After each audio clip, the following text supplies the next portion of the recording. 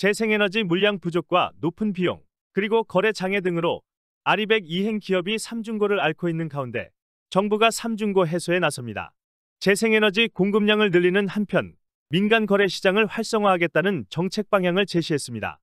기업 재생에너지 재단은 한국 재생에너지 매칭 포럼을 개최했습니다.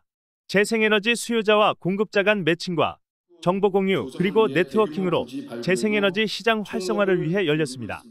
이 자리에서 아리백 이행이 쉽지 않다는 기업의 볼멘 소리가 나왔고 정부는 적극적으로 지원하겠다는 약속을 하면서 구체적인 정책 방향을 내놨습니다.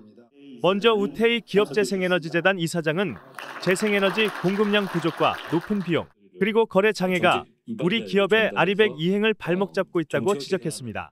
우리 재생에너지 시장은 어렵지만 커다란 잠재력을 지니고 있습니다. 세계적 영향력을 가진 35개 국내 기업들이 100% 재생에너지 사용을 약속한 바 있습니다. 이 기업들이 사용하는 전기량은 연간 80 테라와트 시라고 합니다. 아울러 우리는 재생에너지 공급 측면에서도 우수한 산업 기반과 기술력을 가진 나라입니다. 하지만 어, 또 우리가 해결해야 할 과제도 많다고 생각합니다. 재생에너지 공급이 부족하고 가격이 비싸고 거래 장애가 많이 있는 점은 어, 여러 기업들이 호소하는 바입니다.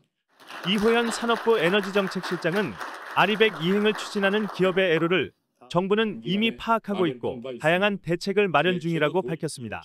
2021년부터 녹색 프리미엄, PPA 제도, 자가용 설치 등 아리백 운영기구가 인정하는 재생에너지 구매 수단을 단기간에 마련한 바 있습니다. 제도 도입 이후 짧은 기간이지만 우리 기업들의 재생에너지 수요는 크게 확대되고 있습니다.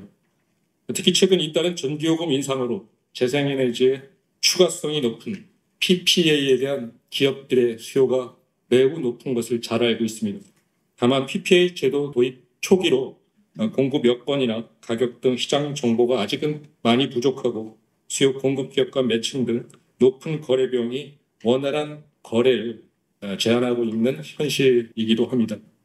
정부는 우리 기업들이 국내에서 원활히 재생에너지 구매를 할 수 있도록 지속적인 재생에너지 공급 양 자체 확대를 위해 노력하겠습니다. 아울러 민간 거래 시장을 더욱 본격적으로 활성화하는 정책을 본격적으로 추진토록 하겠습니다. 특히 이호연 실장은 보다 구체적인 정책 방향을 제시했습니다.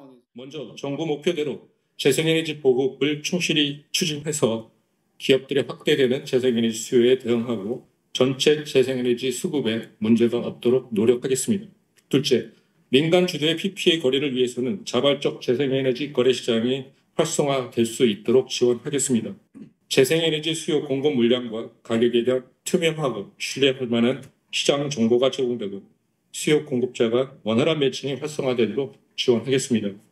또한 PPA 거래의 안정성, 신뢰성을 담보하기 위한 계약에 대한 보증 보험 서비스와 같은 신규 서비스도 준비토록 하겠습니다. 셋째, 우리의 높은 재생에너지 비용을 낮추어 가도록 노력하겠습니다. 아리백용 재생에너지 설비에 대한 정부의 융자 지원을 확대하고 녹색 프리미엄 재원으로 조성된 재생의 에너지 펀드를 직접 이 분야에 투자하도록 하겠습니다. 마지막으로 기업들의 재생에너지 사용 편의를 위해 녹색 프리미엄, PPA 등 거래 제도를 개선하고 국내외 기업들과 소통도 더욱더 열심히 하도록 하겠습니다. 한편 이날 포럼에서 해남군은 기초지자체 최초로 3기가와트급 태양광 발전 집적 하단지를 개발해 해남에 투자하는 기업에 아리백 이행을 책임지겠다는 계획을 발표했습니다.